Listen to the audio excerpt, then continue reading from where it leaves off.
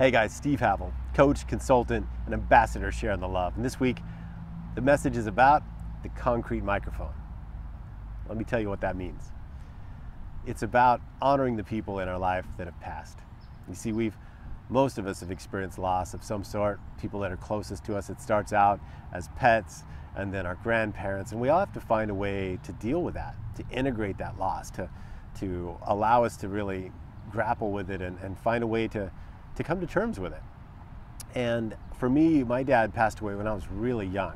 I was 14 years old. He was only 40. And there's a brain tumor, and it came and took him in like a year and a half. And man, it was intense.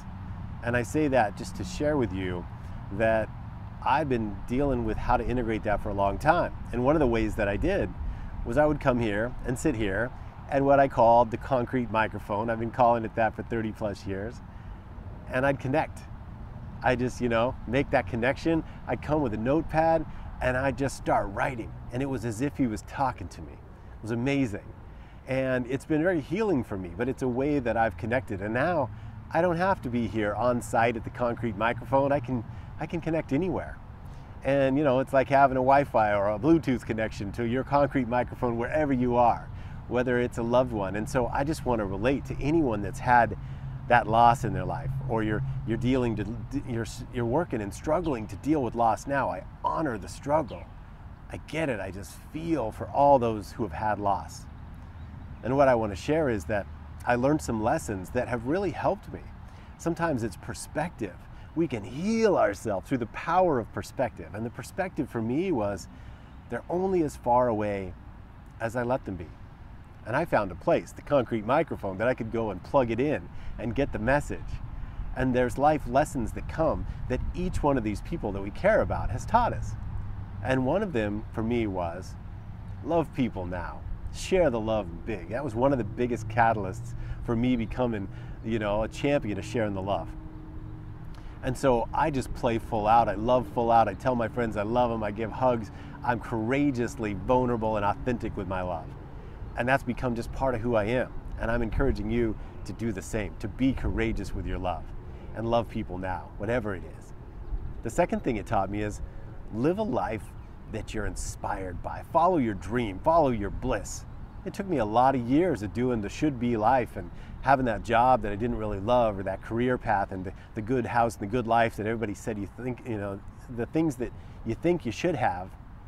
And then it just doesn't mean much.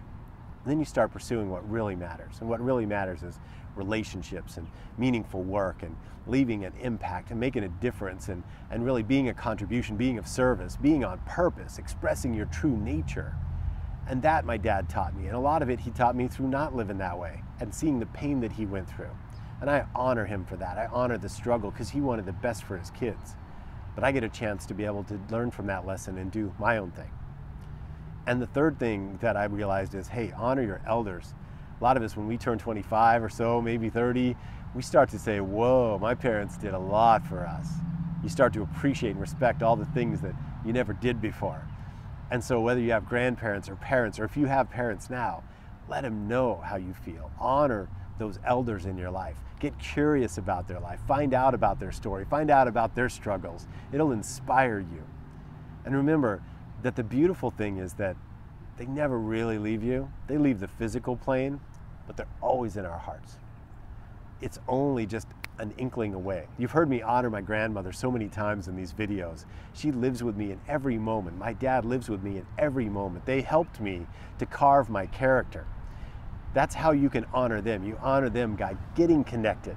It's the first thing is get connected, get to a peaceful place in meditation and prayer, whatever that is for you, and just plug it in and get connected and ask the questions that you want to know. Tap into what you've been wanting to hear from them. Get connected, say hello, hey, how you doing?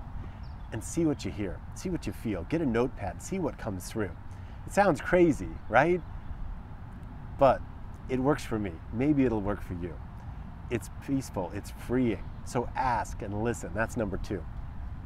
And then again, the third part is just tell people now how you feel about it. If you're upset with your parents, you've been holding a grudge for a long time, go clean it up.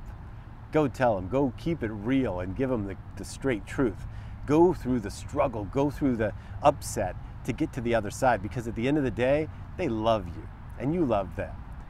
And you want to go to the to their service instead of feeling guilty and showing up like so many people are, oh, I wish I would have said that stuff.